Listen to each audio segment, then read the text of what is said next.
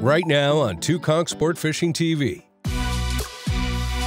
Captain Jack and the crew are gearing up for their annual end of the year guides trip. Road trip about to begin. And this time, the destination is the Big Easy. The place to be right here. You guys got this dialed in. The trip starts off with a bang, as well as some bites. Oh. I'll let him grab that leg. Knots get tied and lines go tight as the guys come across boiling tuna, And that is how you live bait the marathon hump.